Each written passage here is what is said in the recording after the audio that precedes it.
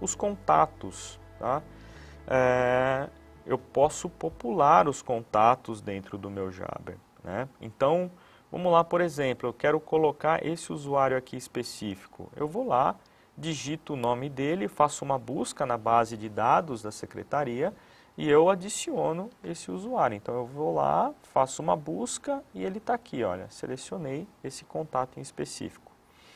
Um outro exemplo é a, esse exemplo da Diana. Então eu não tenho a Diana nos meus contatos e eu preciso é, adicionar a Diana nos meus contatos. Né? Eu sei que ela está na base de dados da secretaria.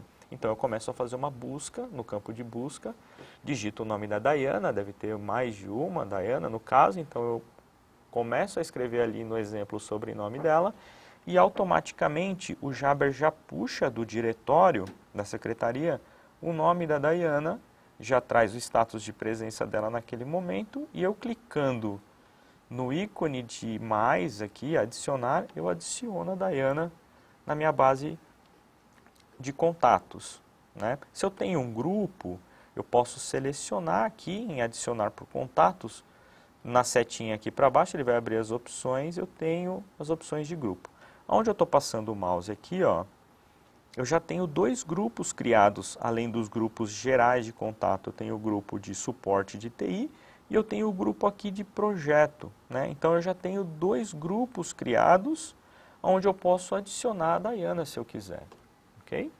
Bom, eu quero criar um grupo novo. Eu tenho aqui a minha lista de contatos, como você pode ver, né? A, a lista global de contatos.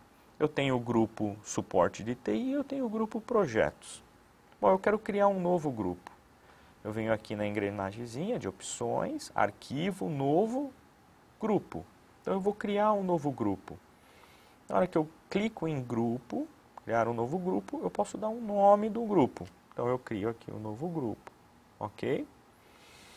As opções de status, como eu comentei, ela pode ser, as opções podem ser visuais. Então eu tenho aqui, eu consigo visualizar o status de cada um, tá? É, como eu comentei anteriormente, esses status eles podem ser customizados, né, ajustados de acordo com as, com as nossas opções que a gente gostaria que aparecesse ali.